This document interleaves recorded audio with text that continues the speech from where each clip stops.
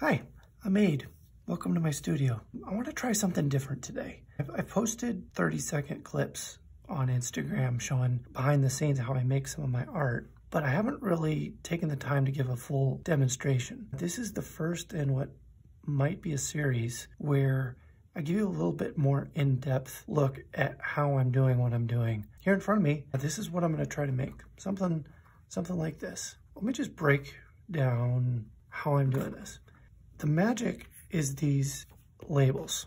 They're four by six UPS shipping labels. And you can get these on, on Amazon. You can tell the ones I got from UPS have a, a logo on the back, but you know, if you get it from Amazon, it, it, it might have different branding. And what I found is different types of shipping labels have different results. So you might might want to experiment with that. I actually like the UPS ones better than at least at least the uh, generic ones I got from Amazon. Okay, so, so what makes this shipping label special? A lot of people don't realize that when a shipping label is printed, the ink isn't applied on top of the paper. It's actually a thermal paper, a heat sensitive paper. Printer, to get the image, it has a printer head that actually is heating up hot enough that it changes the chemicals in the paper to turn it black. What I've learned through trial and error is there's there's different ways other than heat to pull that ink out of the paper. And the one of the methods I'm going to show you today is using acetone. In other words, nail polish remover. If you've never worked with acetone before, yeah, it's got a very strong smell. And it's also, uh, it, it's a chemical. So you, you, you want to be careful I guess I should put a disclaimer in here. Anytime you're working with chemicals and um, experimental art like this, you, you want to uh, read the labels on these chemicals and uh, just be careful. You know, you can see this is uh, maximum strength, 100% pure acetone. This this one I'm going to be testing with tonight has a, a green tone to it. That green will actually evaporate. Yeah, you can see on the back, extremely flammable, keep away from children. So be careful if you're gonna if you're gonna do an experiment like this. The other thing about acetone, it actually is damaging to plastic. You can see in my bottle here, it's kind of warped. It it it's it's warping this plastic, and even when I've applied it to my little plastic holder over here, it eats away at plastic. So um, if you're going to store it in plastic bottles, just know that it, it's going to destroy this bottle at some point. So I've got a stack of labels and I'm just going to one at a time apply a wash of acetone onto these labels. Open the bottle. I've got a one inch watercolor brush, but you know, it doesn't have to be a nice brush. You could use, I've used uh, foam brushes. I've used um, just, just experiment with how you get this on the label. So um, I've got a little tool that I use to suck the, the acetone out. Oh, great, I just spilled on myself, nice. Um, okay, this stuff evaporates really fast. So even though I got it on my hand there, I mean, it, it's already dried. So you kind of got to work fast.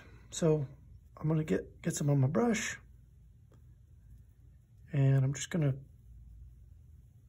kind of, this is not a precise thing. Um, part of what I like about it is just the randomness. Sometimes you get great results, sometimes you don't. This chemical process will take a little while to complete. You could probably notice there how it's changed just in the last, you know, uh, 10 seconds or so. And it will continue to change, I don't know, uh, for minutes, maybe maybe longer. So I'm gonna, I'm gonna set this one to the side and do another one. I guess you can see you can see how quickly it evaporated, right? As it was evaporating towards the edge, and uh, the process, like there wasn't much left in my brush. So um, this next time I'm gonna try to get a little bit more acetone and a little bit heavier application. So again,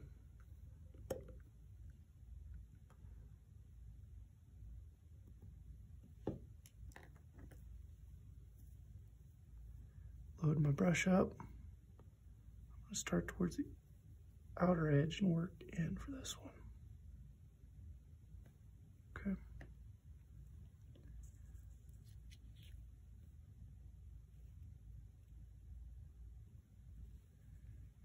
And you, you end up getting this really rich gray tone.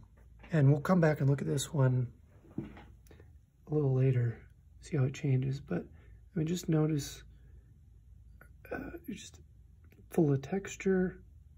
Really love that, uh, that effect. Okay, so I'll set that one aside as well. Those two first ones were UPS labels. So I'm gonna I'm gonna switch to a, a generic label. We'll see if we get a different result. I still I think I have enough acetone here on my brush that I can just do another application here. I'll go for more of an oval shape this time.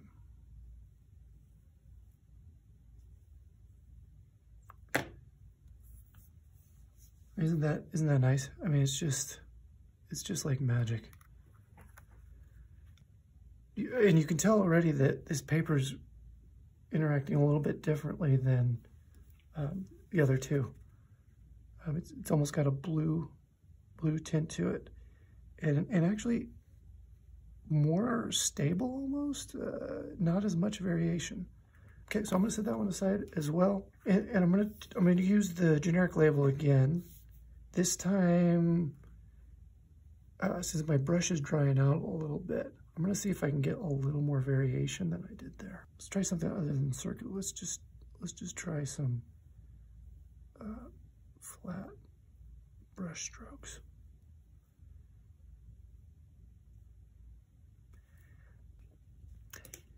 The other thing you'll notice about this paper is it it once it's black, it, it's not necessarily permanent. You can, you can pull, pull it back to white. Watch what happens when I go over this a second time. You know, it's, it's gray now. Look at that. It, it, it changed it back to white and then goes back to black.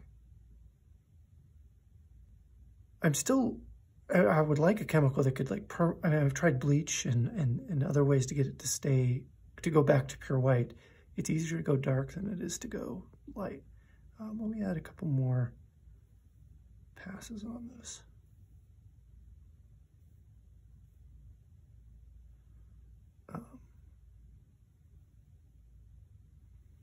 Well, that's interesting. It's picking up a little bit of the, the brush strokes.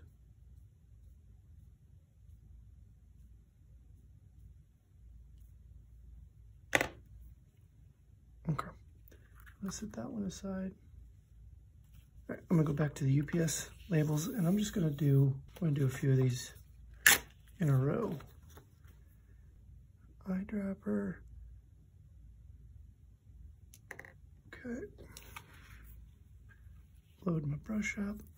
Uh, I'm just gonna try some, again, I like, I like being surprised by what I get here. Um, so, you know, every time I make one of these, I try to, I never do the same thing twice.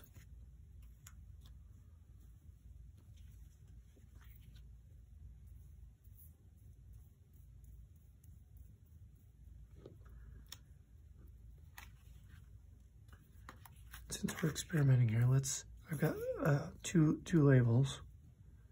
A little bit more.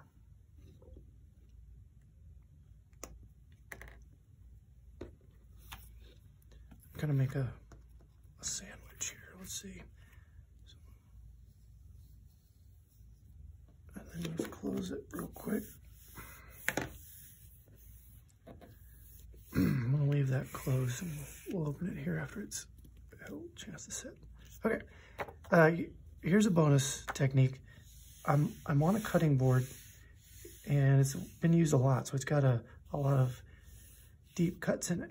So what, I'm gonna do is I'm going to apply my acetone right onto the, to the board.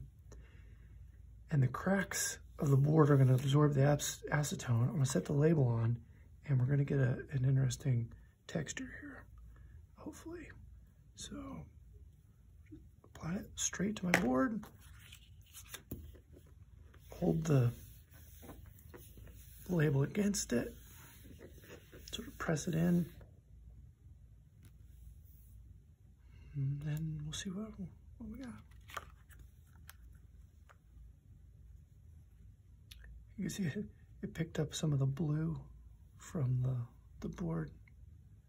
But yeah, you get a real interesting texture pattern there. And I got one more, so let's let's do that same same thing one more time with the with the board.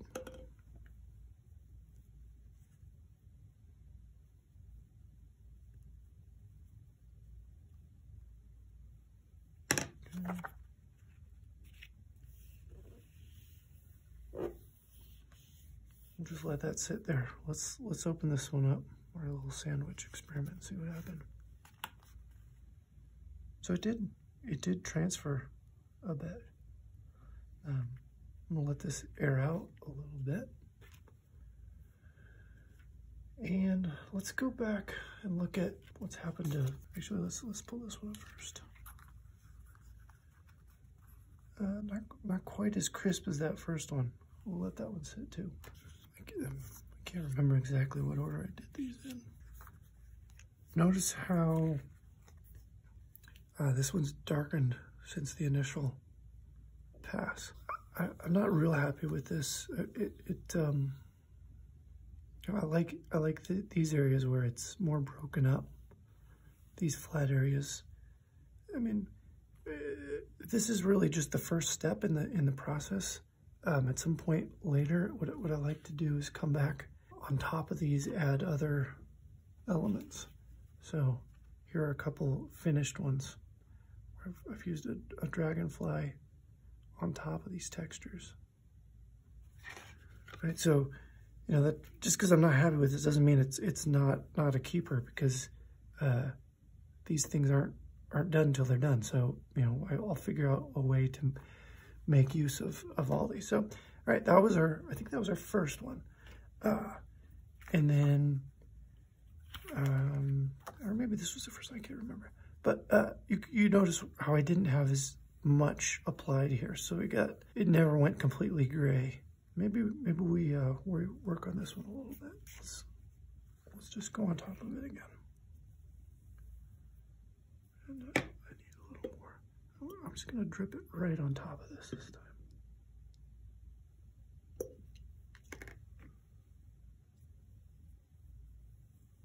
All right, so let's let's set that one aside again. All right, some. It, it definitely doesn't pick up the the brush strokes like like paint would. Um, you don't have that kind of control, which you know you may or may not like depending on what you're going for.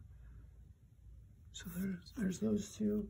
And then these were the, the generic labels. You can see where I, I don't like them as much as the as the UPS ones. I don't, I don't know how they're necessarily different, but you, you get a very different, you just don't get the, the richness. So, and then here are ones with, with the cutting board texture.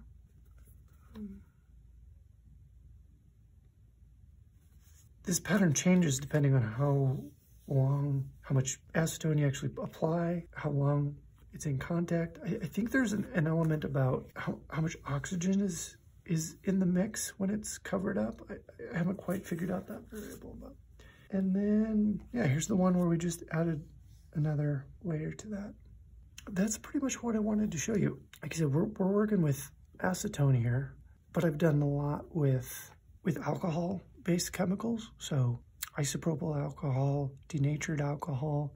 You have to be, be careful with those just for, for the fumes, highly flammable nature of it. So if, if you want to be safe, use something like hand sanitizer that I don't know what percentage of hand sanitizer alcohol is you know, but it's it's 50% maybe 60%. It's enough to get a chemical reaction. So that's that's a perhaps better way to go. Uh, what other chemicals have I tested? Uh, Rain-X. Maybe I'll, I'll do a demo of Rain-X at one point. Scotch. You can use, uh, I've never tried like rum or anything, but alcoholic beverages, if it has a strong enough alcohol content, will will have a chemical reaction. I hope you enjoyed this. If you did, give me a like, follow me and all that, and um, maybe I'll make some more of these. Thank you.